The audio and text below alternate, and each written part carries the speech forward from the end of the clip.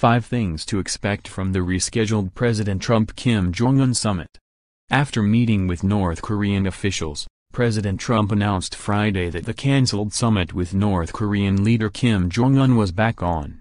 Here's what you need to know about the latest development in this diplomatic roller coaster. The summit will still take place on June 12 in the Southeast Asian island nation of Singapore, now only a week and a half away. The president attempted to temper expectations about the historic summit. We're not going to sign something, Trump said when it comes to North Korea's nuclear weapons program. He noted that the process will begin on an agreement to have Kim eliminate the program.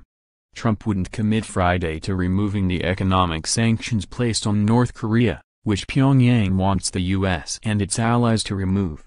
They were placed on the country because of its nuclear program. I look forward to the day when I can take the sanctions off North Korea, Trump said. He also noted that additional sanctions are ready, but they wouldn't be applied unless talks break down.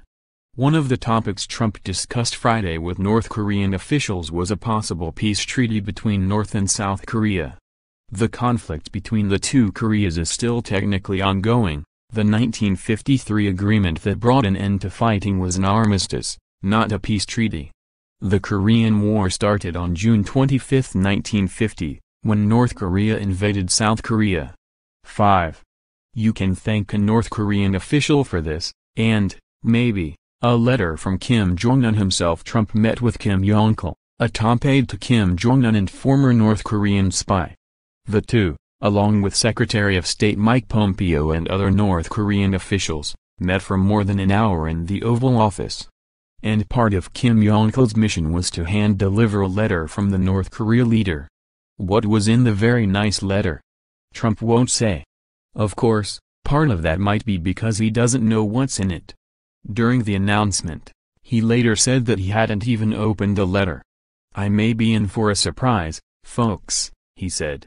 The White House sent out a release later Friday that said Trump, who had just left for his retreat at Camp David, MD, had read the letter,